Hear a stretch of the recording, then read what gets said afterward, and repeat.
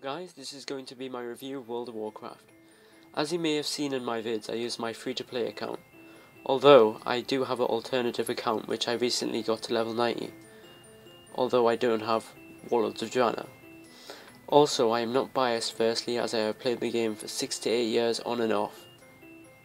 Now for my review. WoW was still quite fun today and I would still recommend it to anyone because of how easy it is to play and get into.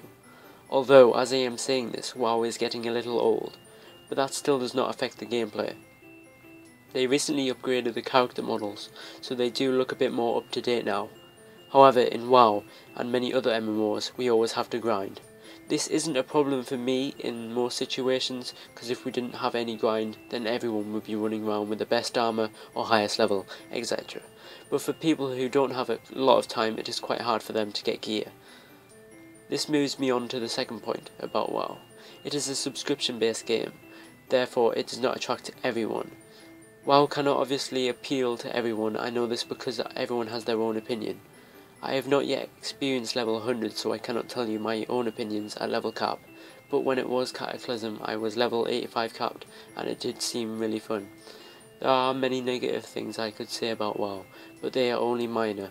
To me there was always an unbalance in classes, but that is my own opinion. It might not look like this to everyone, or I am just really bad at PvP, probably my second reason.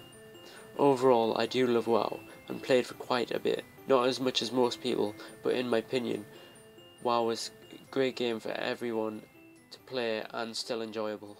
Thanks for watching. This is my review. Goodbye.